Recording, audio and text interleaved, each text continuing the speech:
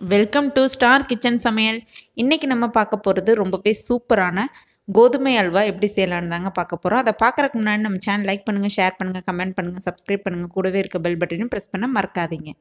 இப்போ நம்ம செய்யக்கூடிய இந்த கோதுமை அல்வாவுக்கு தேவையான பொருட்கள் என்னென்னு பார்க்கலாம். இரநூறு கிராம் கோதுமை மாவு நானூறு கிராம் நாட்டு சர்க்கரை ஏலக்காய் பால் ஒரு லிட்டர் முந்திரி திராட்சை நூற்றம்பது எம்எல் நெய். இப்போ வந்து நம்ம இதை செய்கிறதுக்கு ஃபஸ்ட்டு வந்து ஒரு கடாய் வச்சுக்கலாம். கடாயில் இப்போ வந்து மூணு டேபிள் ஸ்பூன் அளவுக்கு நெய் சேர்த்துக்கலாம். நான் இன்றைக்கி இரநூறு கிராம் அளவுக்கு கோதுமை மாவு சேர்த்துருக்கேன். இரநூறு கிராம் அளவுக்கு வந்து நம்ம நாலுலேருந்து அஞ்சு பேர் அளவுக்கு சாப்பிடக்கூடிய அளவுக்கு வந்து நம்மளுக்கு அல்வா கிடைக்குங்க.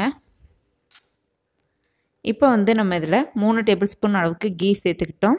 இதில் வந்து நம்ம எடுத்து வச்சுருக்கக்கூடிய இரநூறு கிராம் அளவுக்கு கோதுமை மாவையும் சேர்த்து நம்ம நல்ல அதில் கோதுமை மாவில் இருக்கக்கூடிய அந்த ராஸ்மல் போகிற அளவுக்கு நம்ம வந்து நல்லா வந்து கைவிடாமல் வந்து வறுத்து எடுத்துக்க போகிறோம் மாவை. இப்போ நம்ம இதில் மாவையும் சேர்த்துக்கலாம். ஸ்டவ் வந்து நீங்கள் சிம்மில் வச்சுக்கோங்க.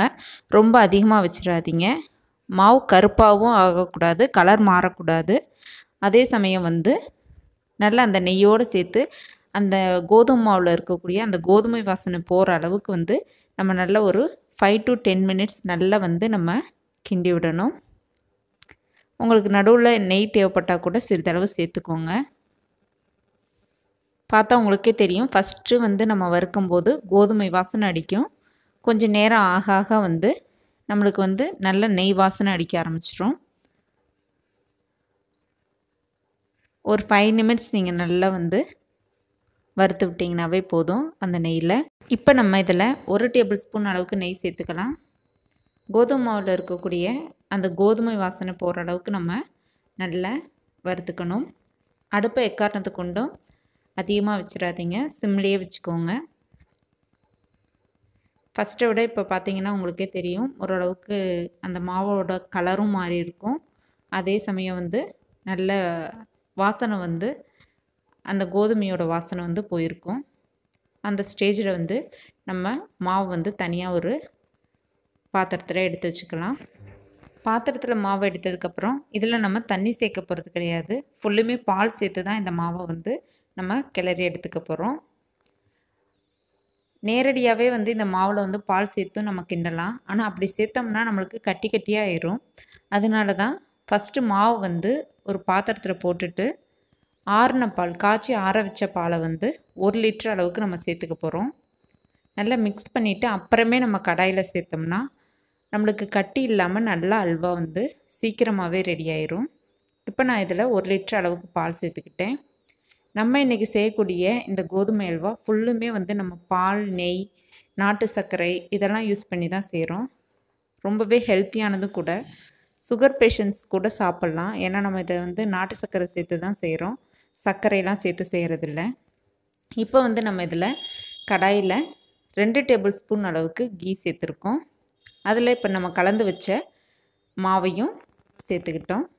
இப்போ வந்து நம்ம ஸ்டவ்வை வந்து நல்லா ஹை ஃப்ளேம்லேயே வச்சுக்கலாம்.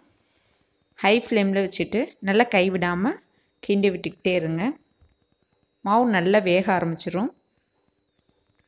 நல்லா வெந்து வர ஸ்டேஜில் நம்ம இதில் நாட்டு சர்க்கரையை சேர்த்துக்கலாம். இப்போ பார்த்தா உங்களுக்கே தெரியும் நம்ம ஊற்றுனதை விட இப்போ வந்து நல்ல மாவு வந்து கெட்டியாக ஆரம்பிச்சிருக்கு. நம்ம நார்மலாக கடையில் வாங்கக்கூடிய கோதுமை அல்வாலாம் வந்து ஜீனி சேர்த்து தான் செய்வாங்க. நம்ம இதில் நாட்டு சர்க்கரை சேர்த்து தான் செய்கிறோம் குழந்தைங்கள்லேருந்து பெரியவங்க வரைக்கும் எல்லாருமே சாப்பிட்லாம். வீட்டிலையே செய்யக்கூடியதும் கூட. இப்போ வந்து பார்த்திங்கன்னா உங்களுக்கே தெரியும். நல்லா வந்து வேக ஆரம்பிச்சிருச்சு. இந்த ஸ்டேஜில் நம்ம இரநூறு கிராம் அளவுக்கு கோதுமை மாவுக்கு நானூறு கிராம் அளவுக்கு நாட்டு சர்க்கரை சேர்த்துக்கிட்டோம். உங்களுக்கு இனிப்பு இன்னும் கொஞ்சம் ஜாஸ்தியாக வேணும்னா நீங்கள் தேவையான அளவு சேர்த்துக்கலாம். இப்போ வந்து நாட்டு சர்க்கரையும் சேர்த்து நல்லா கிண்டி விட்டுட்டே வரணும். இந்த கோதுமை அல்வா செய்கிறதுல முக்கியமானது என்னென்னா கைவிடாமல் நம்ம கிண்டி விட்டுக்கிட்டே இருக்கிறது தாங்க. முதல்ல நான் ஒரு இரநூறு கிராம் அளவுக்கு நாட்டு சர்க்கரை சேர்த்தேன். இப்போ ஒரு இரநூறு கிராம் அளவுக்கு சேர்த்துருக்கேன். மொத்தம் நானூறு கிராம். நல்லா வந்து மிக்ஸ் பண்ணி விட்டுக்கிட்டே இருக்கும். நல்லா வந்து வேக ஆரம்பிச்சிரும்.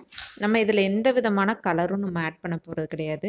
அந்த நாட்டு சர்க்கரையோட நேச்சுரல் கலர் தாங்க. இப்போ பார்த்தா உங்களுக்கே தெரியும். நல்லா வேக ஆரம்பிச்சிச்சு. நம்ம ஃபஸ்ட்டு வந்து அந்த கோதுமை வறுக்கிறதுக்கு அந்த பாலில் கலந்து ஊற்றும் போது எல்லாமே சேர்த்து நம்ம இருபதுலேருந்து இருபத்தஞ்சி கிராம் அளவுக்கு தான் நெய் வந்து சேர்த்துருப்போம். இனி வேகும்போது நம்ம ரெண்டு ரெண்டு டேபிள் ஸ்பூன் நெய் சேர்த்துக்கிட்டே இருக்கணுங்க. நல்ல நெய் வந்து நம்ம ஊற்றக்கூடிய நெய் நல்லா பிரிஞ்சு வர்ற அளவுக்கு வந்து நம்ம ஊற்றி கிளறிக்கிட்டே இருக்கணும். இப்போ பார்த்தா உங்களுக்கே தெரியும் நல்லா வந்து வேக ஆரம்பிச்சிருச்சு. இதில் நடுவில் ரெண்டு ரெண்டு டேபிள் ஸ்பூனாக நெய் நம்ம சேர்த்துக்கிட்டே இருக்கணும். அப்போ தான் நம்மளுக்கு அடியில் பிடிக்காமல் நல்லா வந்து வெந்து வரும்.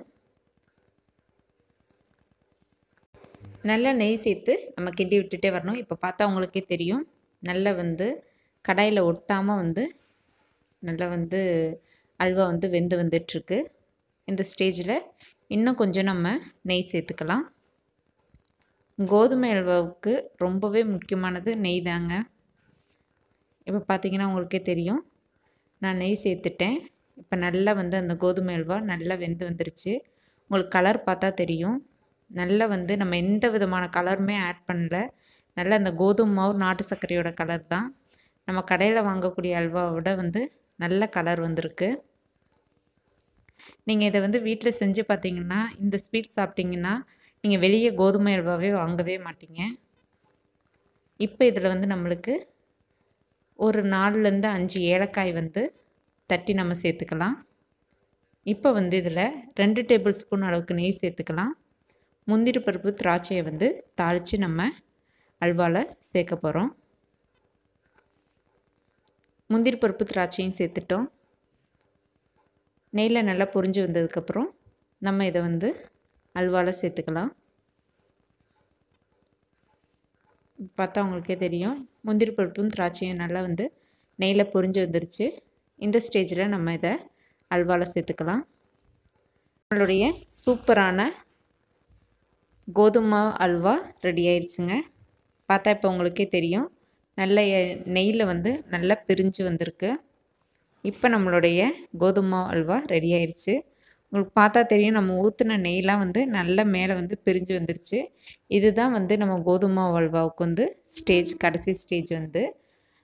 இப்போ இது மாதிரி நெய் பிரிஞ்சு வந்துருச்சுன்னா நம்மளுடைய அல்வா வந்து ரெடி ஆயிடுச்சு. இப்போ வந்து ஆறுனதுக்கப்புறம் நம்ம சாப்பிட்றதுக்கு பரிமாறலாங்க. சூப்பரான ரொம்பவே ஹெல்த்தியான ரொம்பவே குயிக்காக செய்யக்கூடிய கோதுமை மாவு அல்வா ரெடி இந்த ரெசிபி உங்களுக்கு பிடிச்சிருந்துச்சுன்னா நம்ம சேனல் லைக் பண்ணுங்கள் ஷேர் பண்ணுங்கள் கமெண்ட் பண்ணுங்கள் சப்ஸ்கிரைப் பண்ணுங்கள் கூடவே இருக்க பெல் பண்ணி ப்ரெஸ் பண்ண மறக்காதீங்க. தேங்க்யூ